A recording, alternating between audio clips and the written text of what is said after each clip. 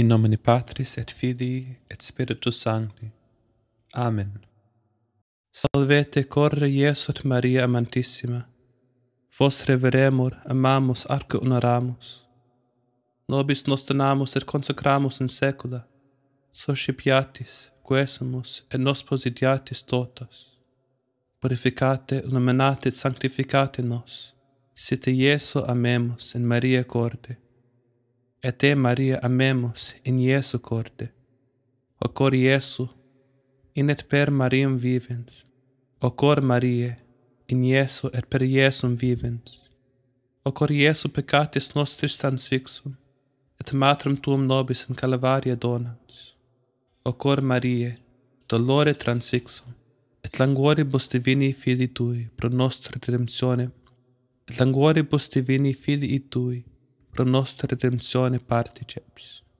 O sacris storm quorum tuorum unio, laudetur Deus Pater et Filius et Spiritus Sanctus, laudetur Spiritus Dei, quic corda duo univit, nostrum et omni cor coniugat, ut una miter corda vivant omnia, in imitatione secundum sacram unitatem, in coribus tuobus istis existetque, triumpha, o corpe dolens et immaculatum Mariae, regna o cor Iesus sacratissimo, in coribus domibus ac familis nostris, in ecclesia tua sancta, in fidelium vita omnium, in iorem gode, quete iusque non annoscant nectno, in omni natione orbis terrarum, constituin gode totus generalis humani, regalum tuorum corum amborum triumphum, ut omnes terra resonet a fine usque ad finem una voce, benedictum in seculum, cor Iesu sacratissimum,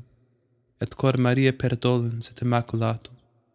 O Sancte Iosef piissimo, me ipsum honori, tu commendo, et tibi me dono, ut mihi sis iugiter et pater, custos e conductor in via salutis, maiorem cordis puritatem mihi, queso, obtinias et vit interioris amorum ferientem. Secundum exemplum tuum facut omnia acta ad maiorem Dei gloria, in unione cum corde Iesu divino, et corde Maria immaculato. O Iosef piatissime, ora pro me ut particeps fiam, pacis tue moti sancte et gaudii. Amen.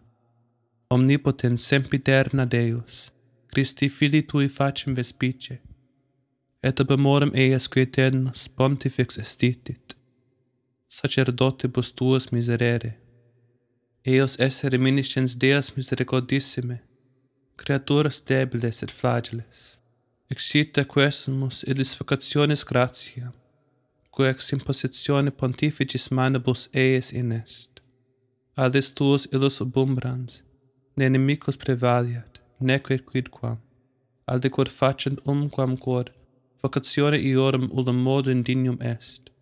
Oram Iesu, pro sacerdotibus tuus, fidelibus ac devotis, et pro infidelibus ac negligentibus, pro laborantibus in patria, vel in missionem territoriis, pro sacerdotibus tuus in tentationibus, in solitudine in desolatione, pro sacerdotibus vivenibus et senibus, pro infirmis et morientibus, etro animabus sacerdotum in purgatorio detentitis.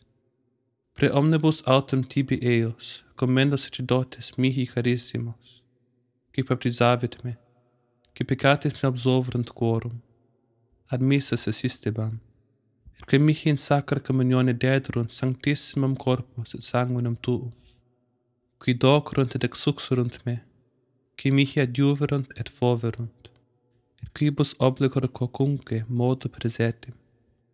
O Iesum God sacratissimo tu ees retinas, abundanter er ipsus benedigens, ex hoc nunc et usque in saeculum.